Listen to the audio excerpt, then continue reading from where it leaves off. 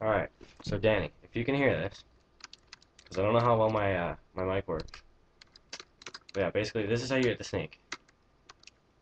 Is you have to hold down the green. Oh, it's fine.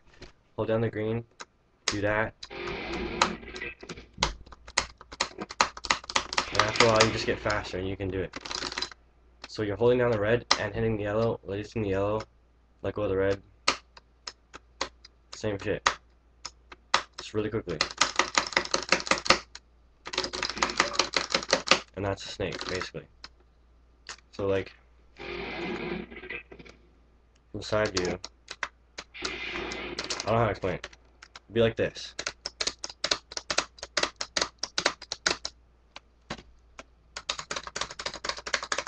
After a while, it just like clicks into place. You already, you just know what to do. So I'm gonna show you this crazy ass thing that I made. And we'll see if I can hit it.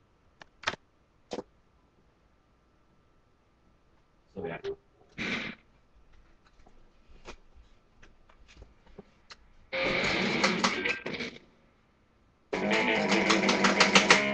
There you go.